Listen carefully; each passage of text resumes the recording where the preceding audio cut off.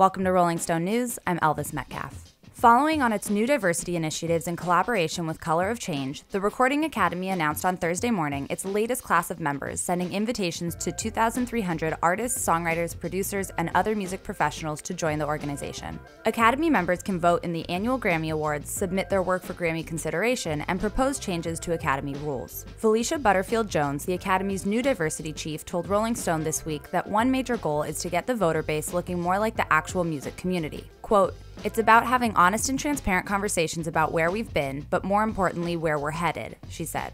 We want to build with everyone. On Thursday, Academy Chair and Interim President and CEO Harvey Mason Jr. acknowledged the Academy still has more to do. Quote, We'll continue to fight to achieve inclusive representation across gender, race, age, national origin, sexual orientation, and beyond within our community. Furthermore, we're excited to see how the contributions of the incoming new member class will help inspire meaningful change within the music industry. Toward the end of June, the Academy and Grammy.com editor in chief Justin Joseph held a virtual discussion featuring new members like reggaeton singer Ozuna, along with veteran members like John Legend, who serves on the membership committee for the Los Angeles chapter. During that discussion, Legend voiced to peers, quote, Make sure that we're building up our chapters with folks who are making music, who are a diverse representation of our creative community. We can literally be the change that we want to see in the Academy.